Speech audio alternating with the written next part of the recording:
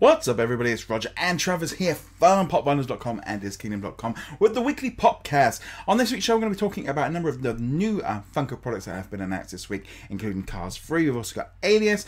We have also got Alien, Despicable Me, and a couple of other bits and pieces. So let's jump into it. First off, let's talk about the brand new Justice League ones. These look really cool. Obviously, the movie's coming out um, later on, but this this set is again just a really cool looking um, one of these. We got some glam shots, which the movie's coming out in November seventeenth, two thousand seventeen. So therefore.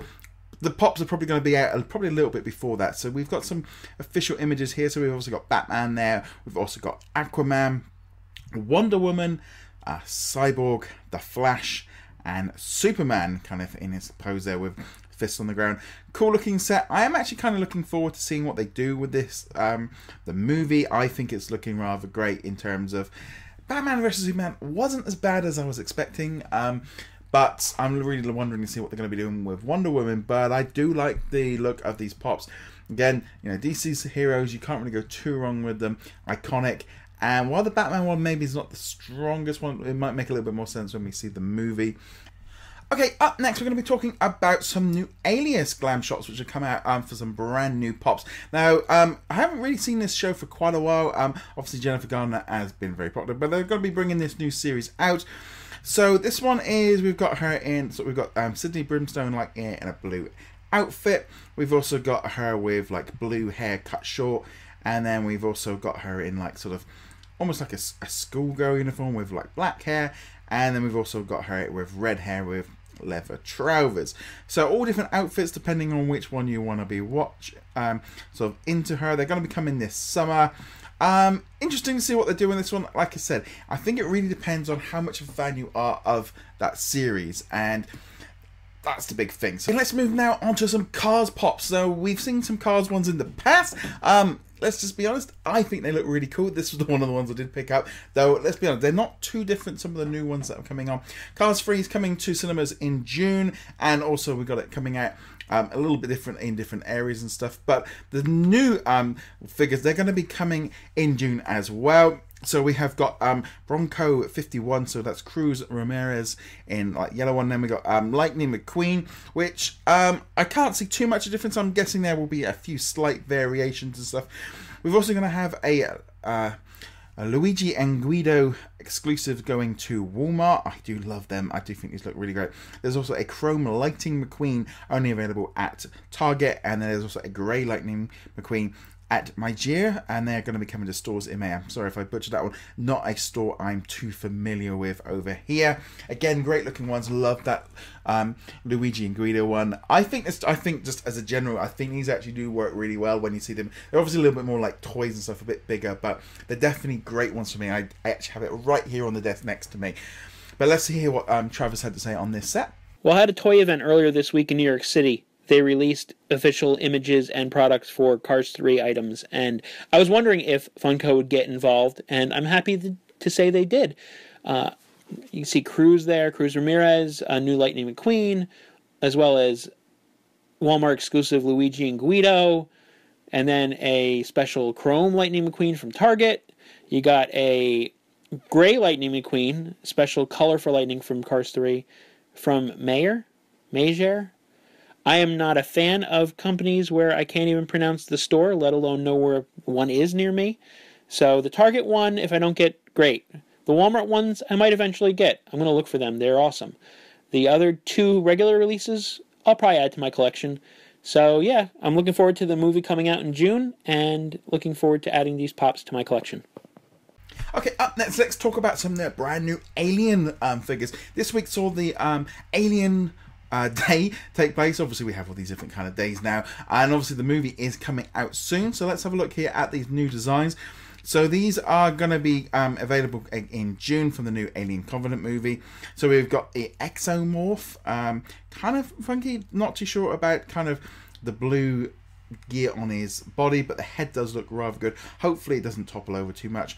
We've also got a David figure, so he's in his kind of expedition gear and got like a little camera on his shoulder and the little hat and stuff. We've also got a Daniel, so she's got her um, machine gun. There's also going to be a bloody exomorph coming to um, GameStop. And then there's also going to be a Oram with Facehugger going to Hot Topic. Again, as with most of these kind of um, sets, they make a lot more sense once you've actually seen the movie. Now, again, I think the sort of the exomorph figures are probably going to be the most popular because obviously anything kind of alien connected generally is a little bit better and different than all the humans. Personally, for me, I do like the look of that one. I personally prefer the um the GameStop one with all like the blood and stuff on it. it just it just looks a little bit cooler. But let's hear what Travis had to say on these. I'm loving the expansion of the Alien line to include new pop vinyls. Uh, the Xenomorph and then the GameStop exclusive Xenomorph look great. I especially like Oram with the face hugger, which is the Hot Topic exclusive. Overall, it looks like a great expansion to the line, and can't wait to add some of these to my collection.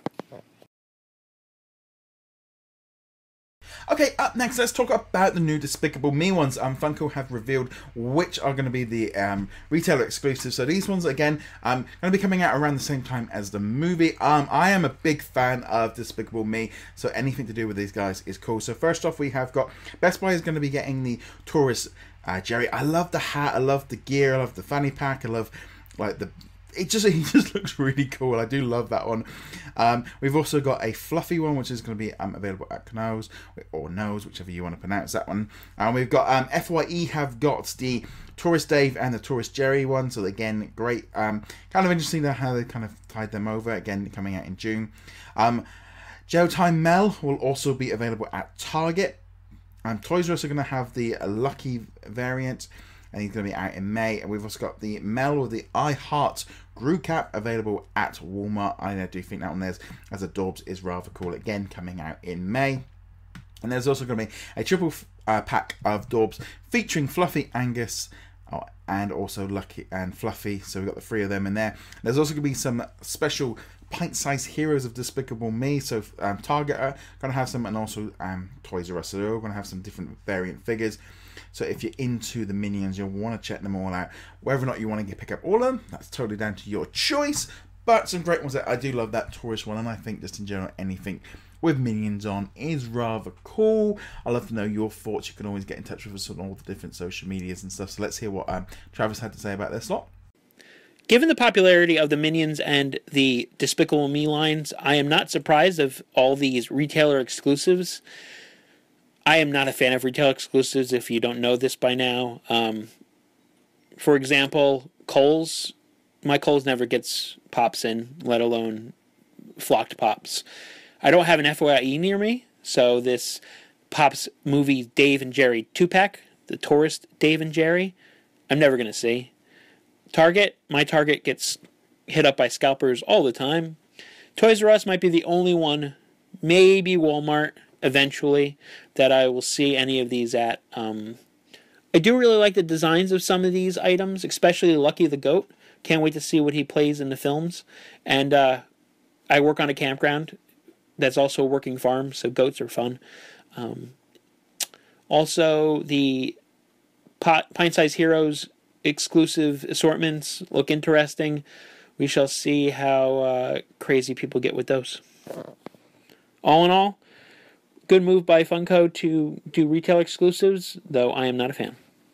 Okay, up next we have got some pops for a brand new movie, which I am going to be honest, I have heard very, very little about, know very little on. It's um, Valerian and the City of a Thousand Planets. Um, so this movie is going to be coming out on July um, 21st. Um, it is about special operatives and working together to maintain um, order throughout the human territories under the assignment of the Ministry of Defense to embarks on a mission to Alpha, an ever expanding metropolis where different species gather to share knowledge and culture.